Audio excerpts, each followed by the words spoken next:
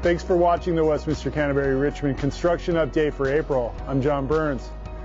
Starting out today on the ellipse where you can see that the construction team is readying the area here for the glass storefront or glass wall that makes up the exterior of the corridor from the promenade over to the Vital Living Center. The connector exterior is anticipated to get installed in early April. From here, you get a good view at the progress being made to frame out the Vital Living Center, which includes the locker rooms, the strength fitness area, walking track, two large group exercise rooms and yoga studio, as well as offices and workspaces. Many of you have asked about the green roof area. We're looking here at the area above the fitness area. This rooftop will be an outside landscaped patio, sometimes called a green roof. This will be a nice gathering or hangout spot for everyone on campus, especially the residents living in the Vitality building. Inside the Vitality building, interior wall framing installs continuing with lower level 2 and level 1 nearly completed. Mechanical, electrical, and plumbing, or MEP rough-ins throughout the building are continuing as interior framing progresses. The Fraco scaffolding will be removed from the Vitality building in the coming weeks as the exterior brick and the EIFS installation wraps up. Currently, the exterior brick on the Vitality building is about 90% complete and the EIFS installation is progressing well. Also, the tower crane will be disassembled and removed from the site in the next week or two, depending on the weather.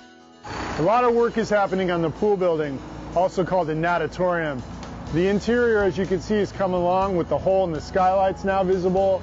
The team is striving to have the exterior brickwork and the EIFS work on the pool building completed by around the end of April. Lastly, on this side of campus, the construction team is working hard to open up the new permanent corridor from the garden apartments to the existing tower on the lower level. We hope to have this work completed in April. When it's open, the crew will begin to take down the temporary corridor in front of the existing garden apartments. This work is slated to start April 8th, take about a month. Part of it will be taking the corridor down, then another phase will be landscaping and hardscaping. Now, let's head over to the village apartments. We're now in front of buildings one and two. As you can see, the exterior work is well underway. The roofs are going on, and on the interior, the crews are installing that mechanical, plumbing, and electrical systems. In the coming month or two, we'll see significant progress cleaning up this work with roadways, sidewalks, and final grading being completed while the interior work is being finished. At the clubhouse, interior finish work is ongoing and the kitchen equipment has been delivered and set in place. The exterior patio is being finalized with the railing installation and the fire pit being set in place. This is going to be a great space for residents from all over campus to enjoy. And lastly, we're now in front of the nearly completed buildings three and four. The team is working on our final punch list items to turn it over to us very soon. The landscaping on this side of the village has begun to be installed as well as the roads and sidewalks are being readied for those first residents.